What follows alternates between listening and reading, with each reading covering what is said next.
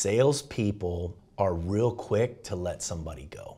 But you really have to think about and really be selective when you come to those points where you're just like, "Ah, I'm just gonna toss somebody aside. Because I've had several, several of my current clients right now come to me and became clients because my follow up strategy was so smooth. And that's the problem with a lot of salespeople is that they're hitting people up for the money. They're hitting people up for the money. I want the money, I want the money, I want the money. They already know you want the money. They already know you want it. You don't have to tell them that. It's like when you get into a relationship, like sex, they already know you want sex, right? You can't just be out there going, yeah, I want sex, I want sex, right? But salespeople do that all the time. Ah, give me that money, give me that money. I wanna close the sale, I wanna close the sale, I wanna close the sale. They feel that. Like people feel that they're being closed. So my strategy, and here's a little tip for y'all, y'all take this. How am I building value at every single time I come into contact with someone? So if you're a prospect, I want you to feel like you're getting so much value from me for free that of course I'm gonna go with him because this is what it's like working with him for free. Imagine what it's gonna be like when I give him money, right? So if you wanna close more deals, my suggestion is keep following up with these prospects because they could turn at any time. You never know where they're at, right? Maybe they're not in a position to buy from you. Maybe they're about to split a partnership. Maybe they're overextended and they're trying to get out of debt. Like you don't know where people are. They may not be saying no because they don't want to use you. They just are probably saying no to you right now, right? And now's not the right time. But if you continue to have a relationship where you're building value through that time period, you'll close that deal. And we've done it, right? And so I know a lot of people are real quick to let people go, but I'm not. I'm just like, all right, great. Well, they'll just live in my ecosystem and I'll follow up from time to time. And at some point, they're gonna come by and they're gonna go, yeah, that's the solution to my problem. Let me go buy from Leduc Entertainment.